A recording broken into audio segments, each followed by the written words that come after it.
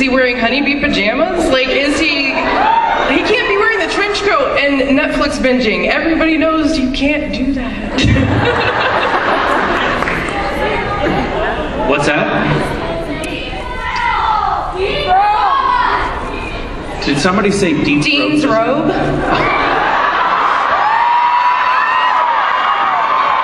Somebody said Dean's robe, and I heard deep throat.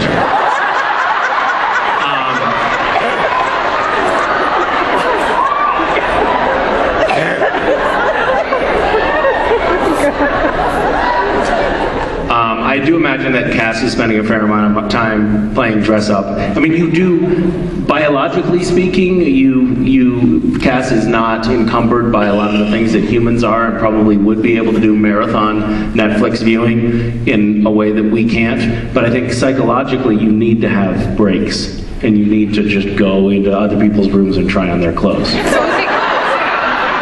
Great, thank So, you. yeah. Thanks. Hi. Hi. Um, sorry, my question has nothing to do with supernatural. It's What? mostly- No, that's that's So not disgusting. allowed, right? Yeah. Um, I'm curious is what you guys do on your downtime. Like, do you practice yoga? And if so, what is your favorite yoga posture? Um, my favorite yoga position is 69.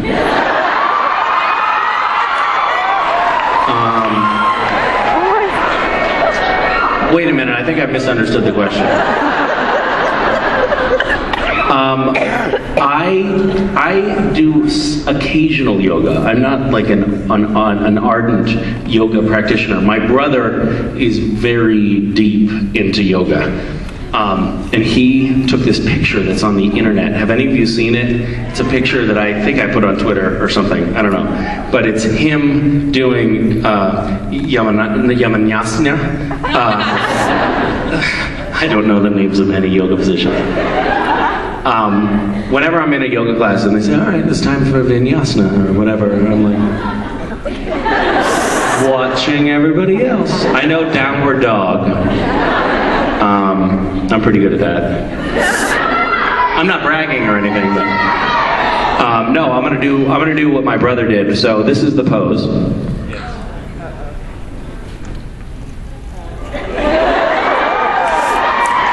But he did that. He did that standing on one foot on my shoulder, and our uncle was there with a camera, and he took a picture.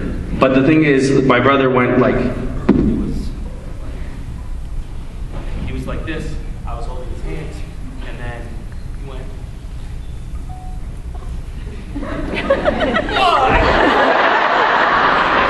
he fell instantly. Like there was no moment when he held the pose. And my uncle snapped a photo, and frozen in time, in perpetuity, is this.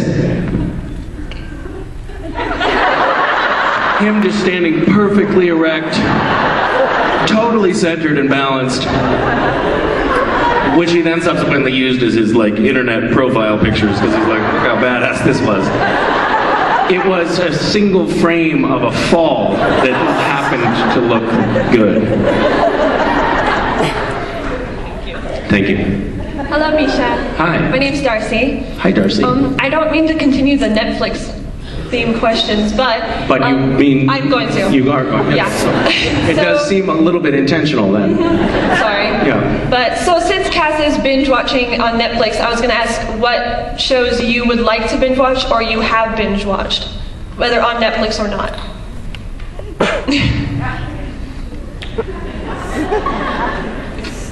Um, uh, House of Cards, Okay. uh, Game of Thrones, uh, Soup, no, Vampire Diaries. Um, uh, what else? Doctor Who. I, I really, like Doctor Who, but I've watched episodes kind of weirdly, sporadically, and not as a as a continuous through line. So that's bad. That's confusing. Sherlock! I'm getting a lot of very judgmental.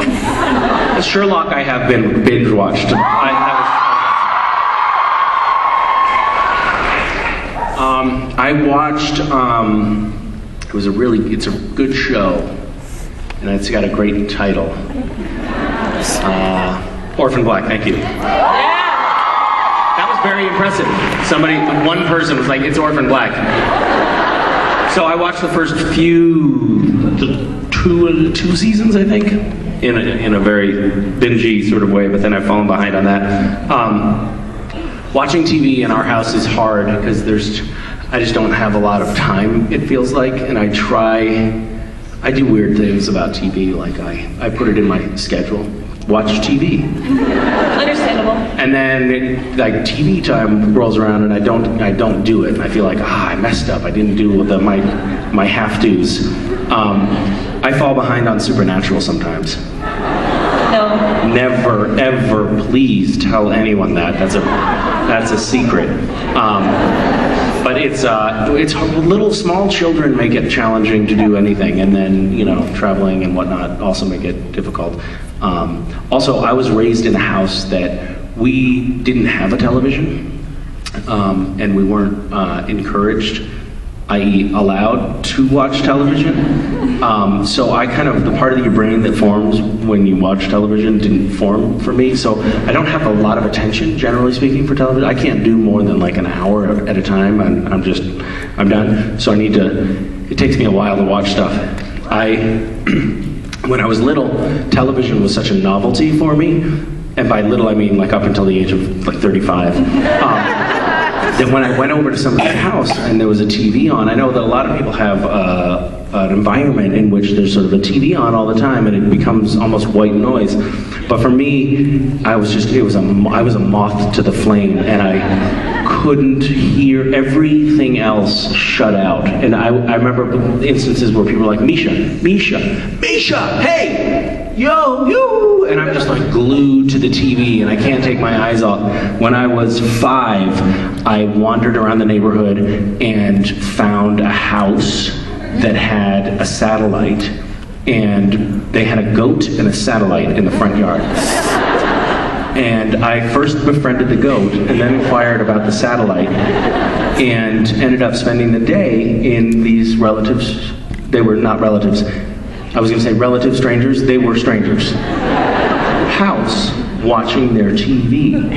And my mother called the police because she had no idea where her child had wandered off to. And I was just stuck to the TV. I couldn't peel myself away. Um, hunger eventually is what brought me home. Um, so anyway, thanks for asking. Thank you so much. Hi. Hello. Uh, so my question for you is, we hear a lot of stories about the relationships between the cast on Supernatural, and we know that there's a lot of work that goes in from the crew, and they're very important to making the production happen. And so I wanted to hear if you have any stories about uh, funny stories, relationships between you and the crew. None. Aw, that makes me sad.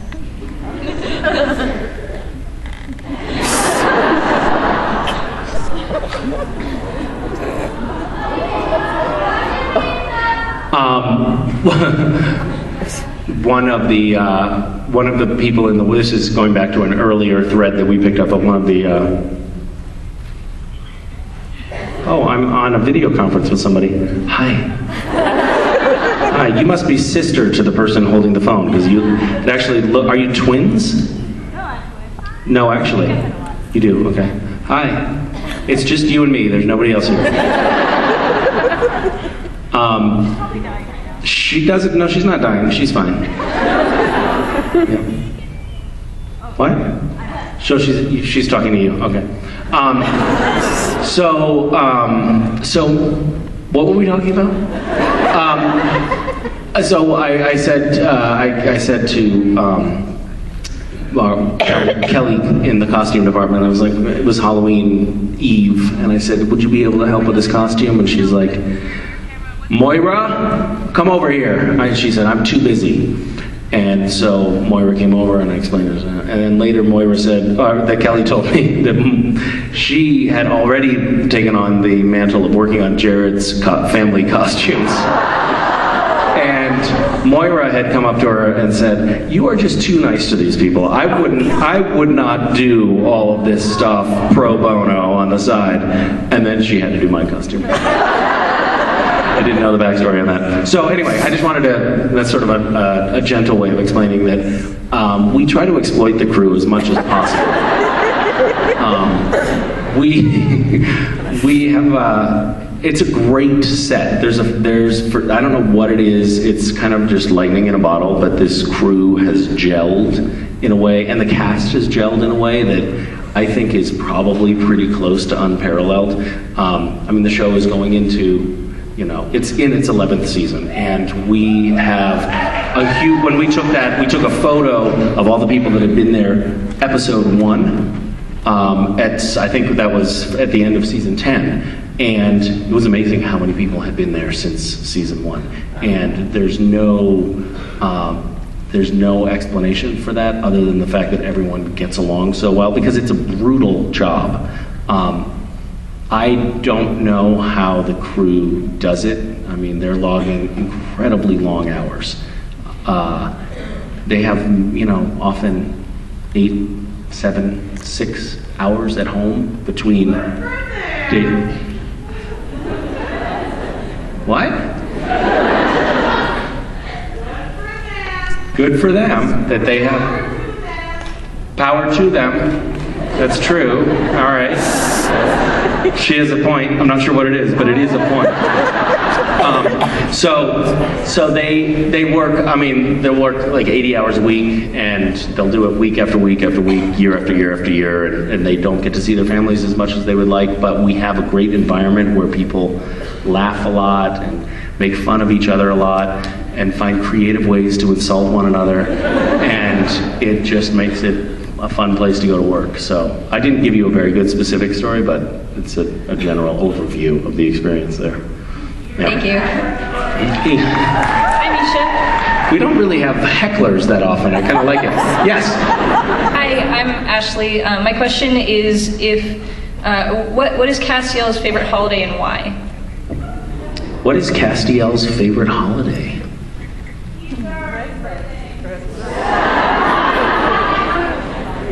Veterans Day.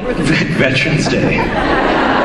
Cass is pretty bonkers for Columbus Day. I don't know what it is. He just loves getting dressed up and celebrating the decimation of the Indian population. Um, February 29th. why do we still have Columbus Day? What's that? That's true. Although he did a pretty good job of knocking out a lot of natives. Um, uh, I don't know. That's a good question. Do you have thoughts on this subject? National Pizza Day. There's some good answers there. National Pizza Day, Dean's birthday. Those are good. What? Perfect. National Pizza Day. We've uh, arrived at consensus here. Okay. There you go. Thank you. Hi. Hi. Okay, so my questions kind of involved, excuse me looking at my phone because I thought I would get nervous and need it. Okay. All right. You have a, a pardon on this. okay, so this might be kind of a tired subject, um, but obviously there is kind of a lack of women in significant and lasting roles in Supernatural.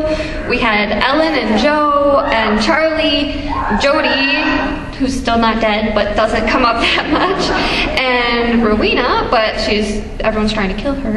Um, and it's kind of odd to me because obviously the fan base is a lot, a large percentage of them are female. I don't know about that. I don't know where you're getting your statistics here. And you guys all seem like very compassionate people committed to equality with GISHWHES, Random Acts, always keep fighting and. But there's still this disparity um, in gender, and do you think that exploring male relationships in with them being vulnerable and complex is as important? Like it's a rare thing on TV. Um, do you think that that's something that justifies the lack of women, or do you think it can be done with women? And do you personally want more women in Supernatural? Um, let me let me uh, first of all, I just want to be forthright about this. I don't like women as a as a rule. So and that I, I don't. Can you imagine? it's just that we don't like women. Um, Sorry if there was some confusion around that earlier. Um, no, I, I, I, um, I think that the show has grown. I, I, I, I, we get, you know, we get questions like this fairly often, and I think that the show has um, evolved quite organically. There was a time, and I, and I really do think the show is largely about the complex relationships between men. It's about a certain sort of bond. I mean, the fact that the two anchoring characters on the show are brothers, and it's about brotherhood, and I think that that expands to you know a sort of circle of of masculine characters um, on the show. Um, it's a show kind of about brotherhood, and I and I think that that evolved organically. There was not a time when anyone was like, "Let's get rid of the women," because those guys are so much hotter. Let's just those women off the screen so we can look at Dean and Sam more. Um, but I, I think that uh, there, you know, season three is a good example. Like the network said, "Hey guys, why is this so gender unbalanced? Let's put female characters in the show," and it just didn't. It, it, it wasn't the right fit. It wasn't what that's what this story is about, and it just didn't fit. And I think that the characters that stick around on the show are the characters that fit into the the overall story arc of the show. The writers on Supernatural are, as a group, very progressive, very you know equality-minded people who I, I, I don't think have a bent against women. So I don't think there's an agenda there. I think it's also interesting to note that the audience here is 98.35% female. So there's something, there is something in this uh, organic evolution of the show that appeals to you know the female audience. Like there's something about watching this brotherhood of men that actually works for this audience. So i think it's i think it's uh, i think it's okay. Um, i think that there are there's of course room for you know great female characters. But it's interesting also to note that like the female characters that have had lasting power on the show, and I think that that's kind of uh, there's a kind of interplay between the audience and the story. You know, if an if the audience really responds to a character and really embraces a character and loves that character, it I think helps foster longevity for the character, and I think that that might operate unconsciously for the writers. But they see, wow, everybody really loves this Rowena character or this Jody character, um, and. Charlie. But interesting to note also that like Charlie, you know, I, she wasn't like a love interest to the boys. She was, you know, in a, in a way, she was a female, but she was also a part of the brotherhood in a way. Uh, and the same goes for Jody. You know, it's they're characters that fold into I think that bigger gender theme. Weirdly, I've thought about this a lot, and and because I've had that I I had that question too. I was like, why aren't there more women on the show? What's wrong with this show? And I feel like I've come to that answer about it. So. Thank you. Hi. Hi. How are Sorry. you? I'm good. How are you? Um, okay. Uh, my question is, what's uh, the best prank Jared or Jensen uh, have played on you? Well, that's sort of an oxymoronic question because um, there are no good pranks that they've played on me. They're all bad pranks um, that sort of reveal that they're men of low character.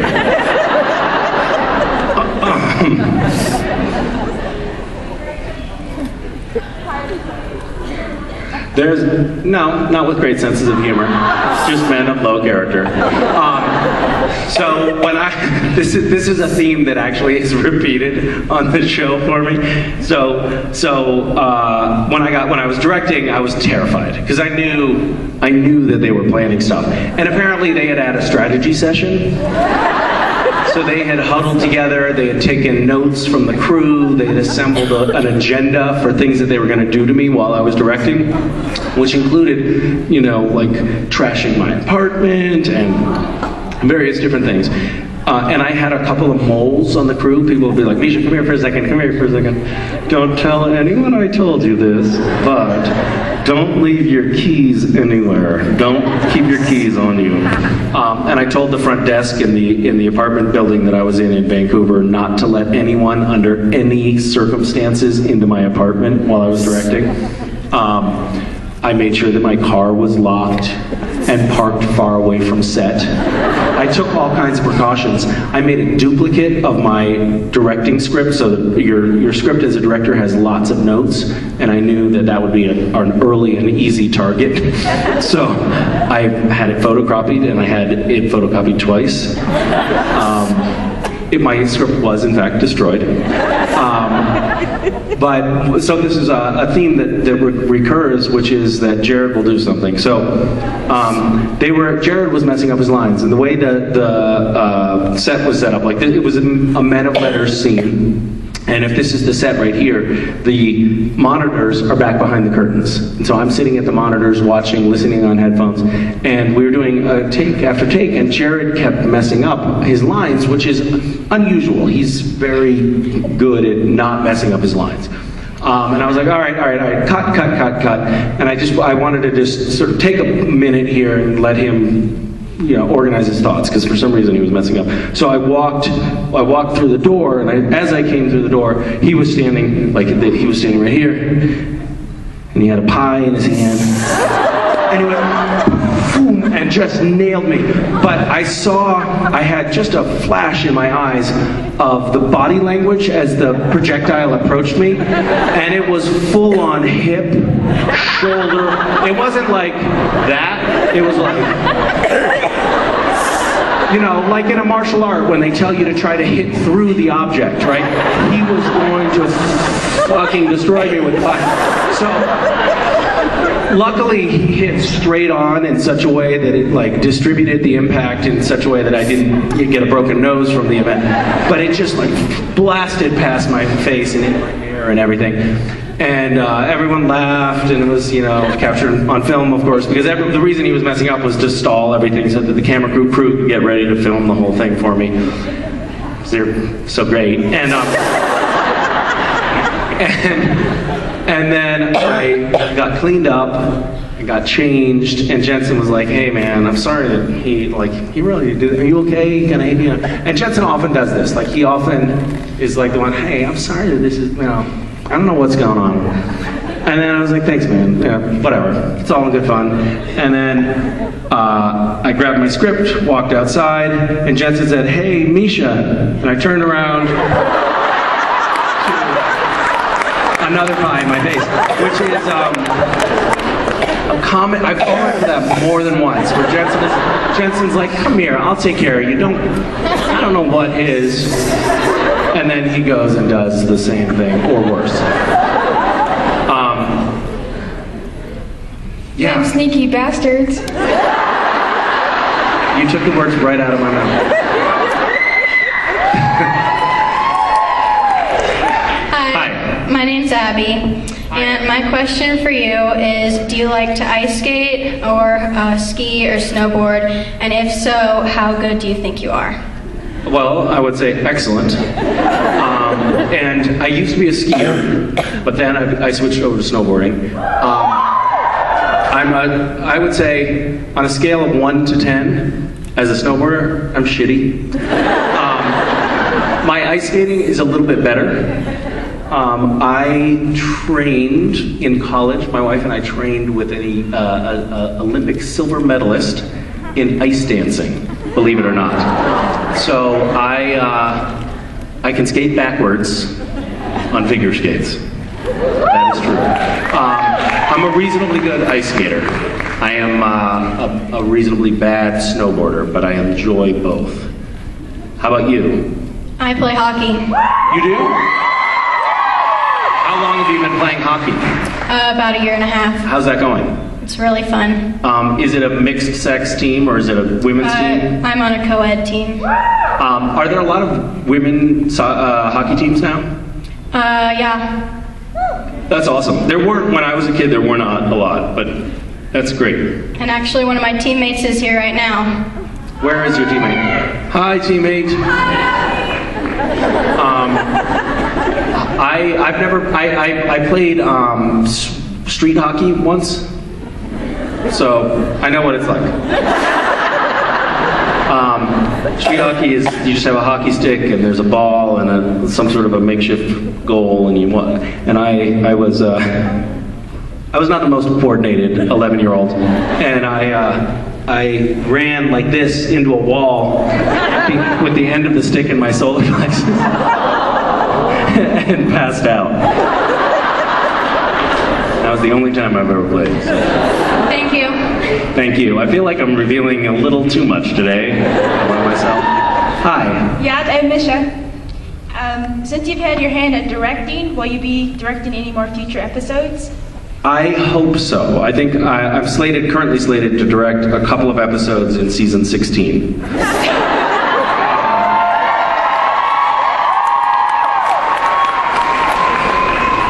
I would, I would like to direct more. Um, I'm not going to direct in this season, and the future seasons, if there are any, are TBD. So we'll see. But I will lobby for that. Okay. Thank you. And it would be great if you could write a letter or something. Not a big deal. We can start a petition. Great, great. Um, I uh, and I, I, I have. I'm slowly formulating some plans to, to try to direct a, an independent feature in the next year and a half or so. So, would love to do that. It's um, it exercises definitely exercises a different part of the brain, and it's really gratifying. It's a lot of fun. Um, I mean, I've always known that I like to boss people around, but uh, I just didn't know how much. Right, thank you. Thank you. Hi. Hi, Misha. Uh, my name is Danelle.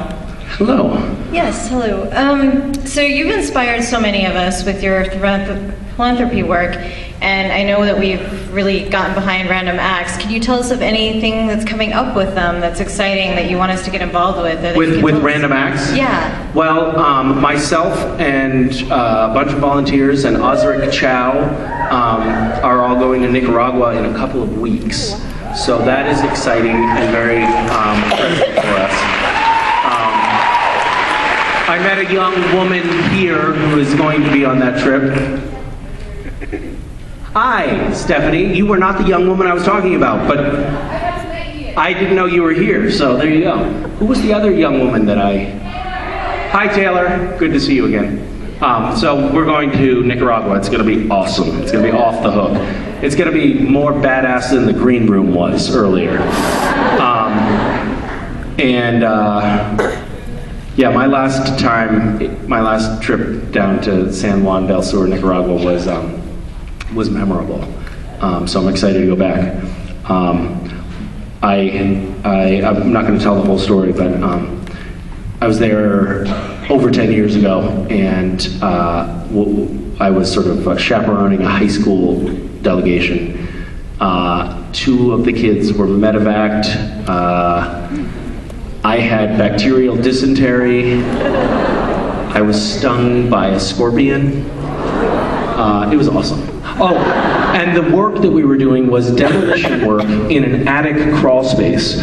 And it was 100 degrees and 90% humidity, and the, and the space was so tight and so dark and so tight, and that uh, we had to cut off the handle of the sledgehammer because you couldn't swing a full sledgehammer. So I was sledgehammering in what felt like a sauna. Um, it was awesome. So we're gonna try to do more of that kind of stuff. You guys are gonna be psyched that you signed up. It's gonna be awesome.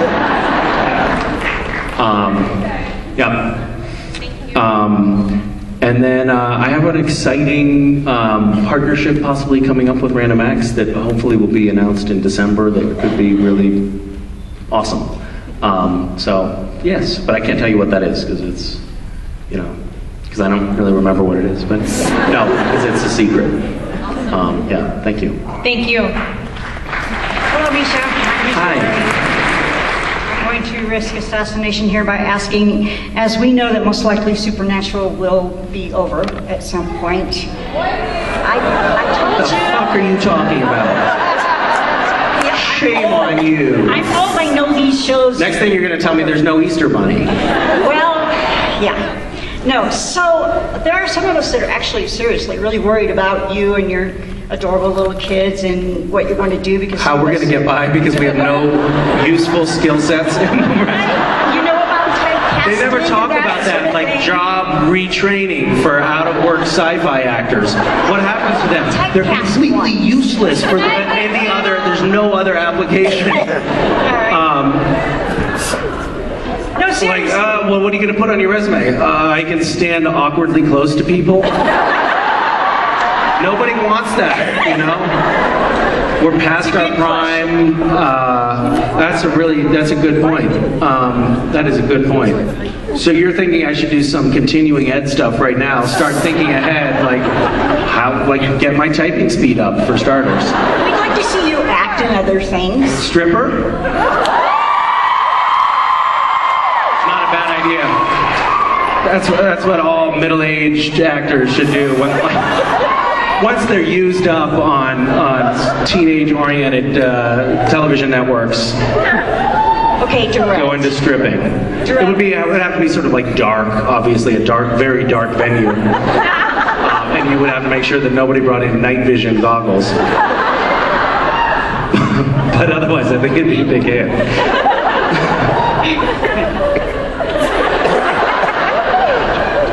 It would be basically geared toward the blind, basically.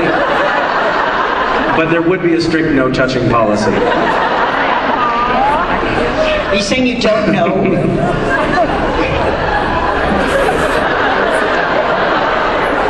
It would be hard though for there to be real accountability there because how would people even know you were naked for sure?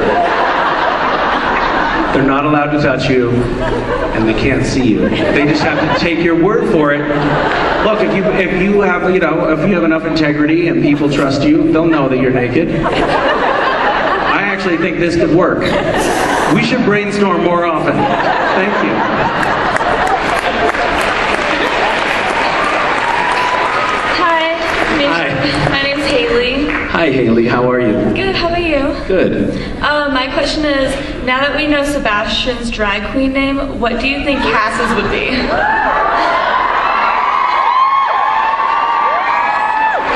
Um, probably something along the lines of angel or feather. Um, what is what is? Uh, I'm sorry, I don't know. I feel out of the loop now. What's his drag drag queen? Cassiopeia is his. That feels like it should be mine.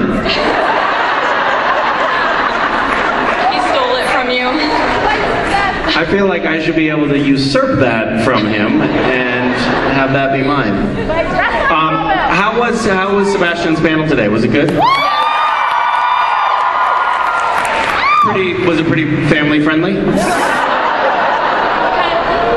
Yeah. Um, uh, did you did were you, did you bear the brunt of some of his Oh no, salacious Haley. advances? What? Another Haley. Oh, another Haley. Okay. Ah, lucky girl. Um, she was seven.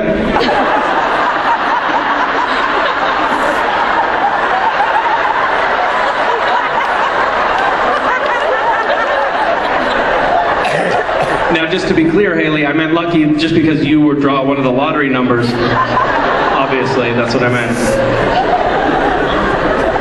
Hi, Haley.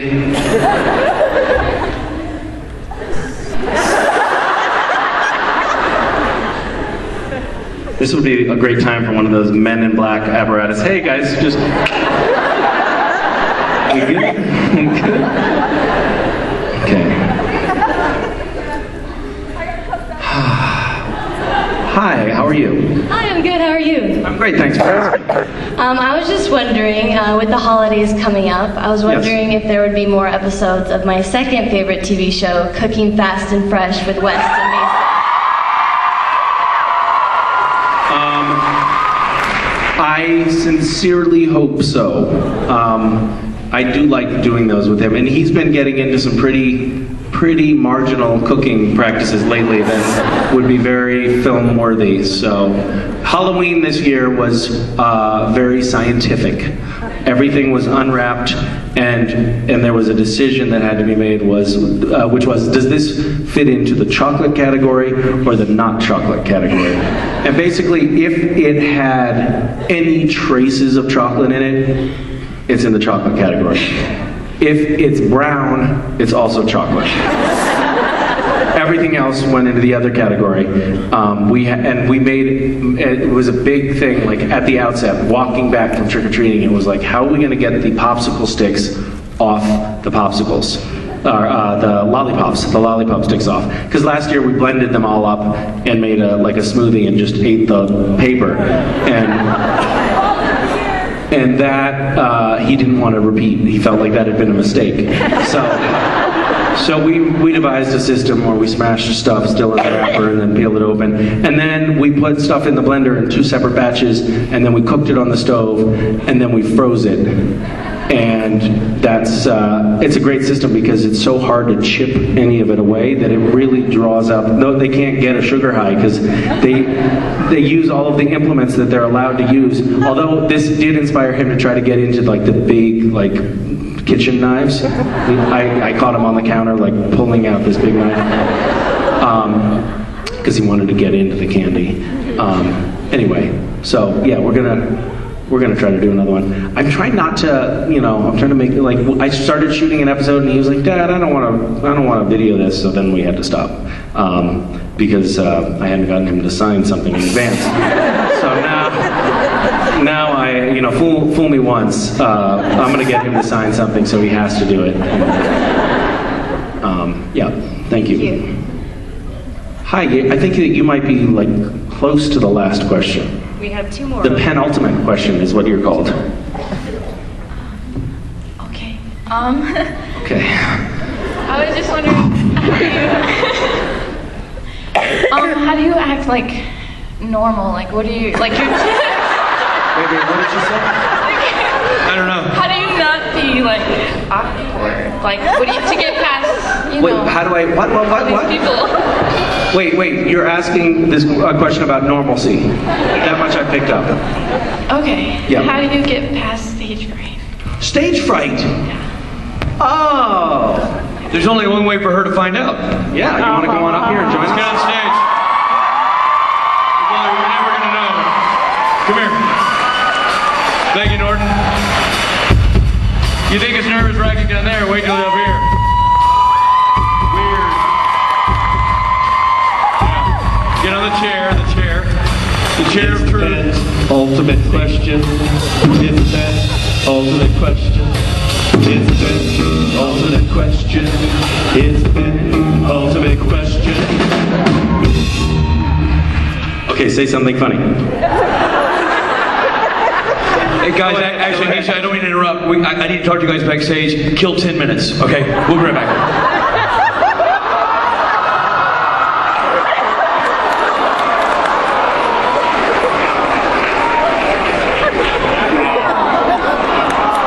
Quit coddling her, Rob. She's got to grow up sometime.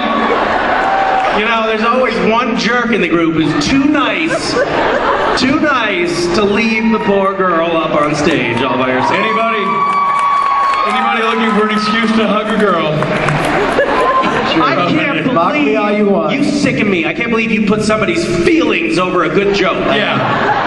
Right. You've changed. Um, you're right. Denver, I'm sorry. It was the XM radio thing that really got to my head.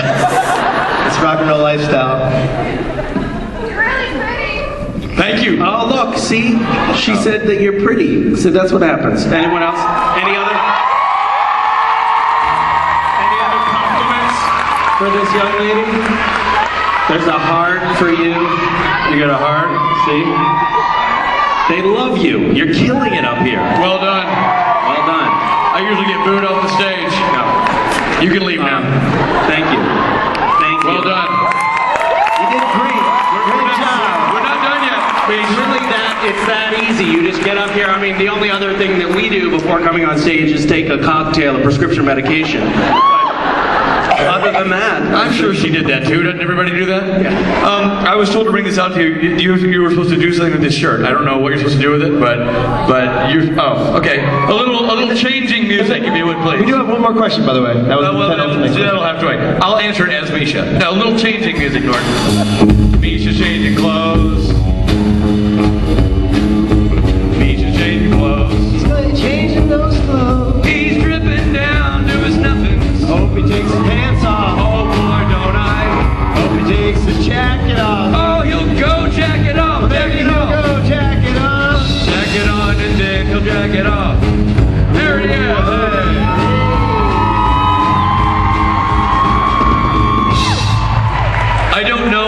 The significance of this is.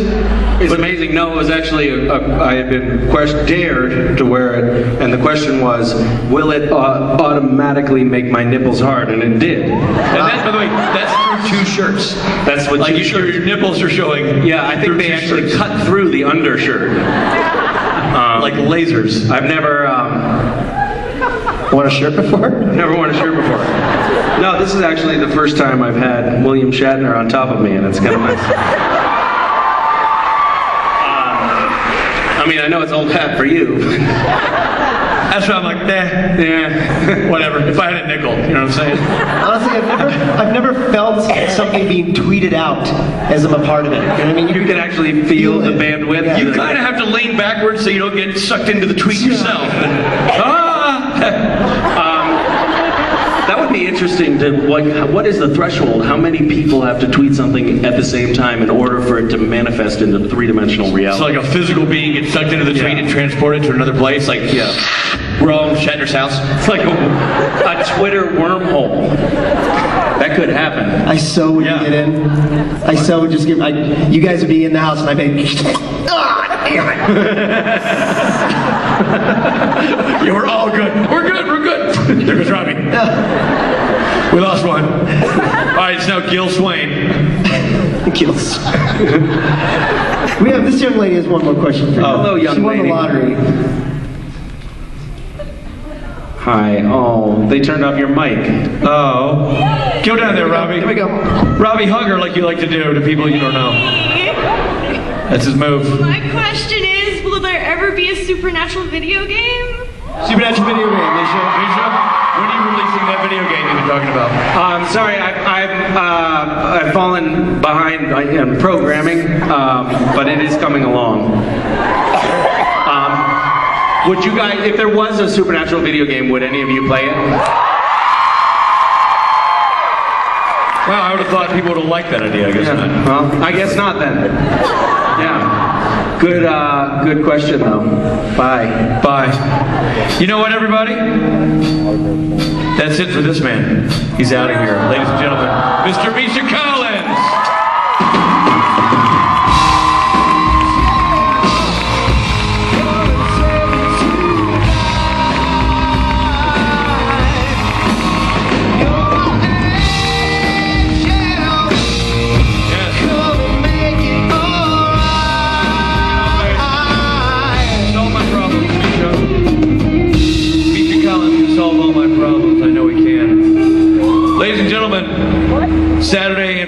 People mixed together in one big happy family on stage. We're going to let this band right now, who is going to anchor the event of the weekend tonight, the Saturday night special. They're headlining tonight. and It's a hell of a show. You heard Mark Sheppard, Be There or Be Wrong, playing a song from I don't know what album. What are you playing? What are you going to play? It's off the uh, Eskimo CD. Oh, the Eskimo CD, ladies and gentlemen. I will see you guys tonight, and signing you off for this day, LA indie sensation Louden Swain. Okay, so this is a song that uh, was a special request that we were not going to play tonight, and someone came a long way to hear this song, which I feel like it wouldn't be fair if we didn't play it for them. So this is what we're doing. Feel free to, you know, do your thing, and we'll play this song. This is called. Wave.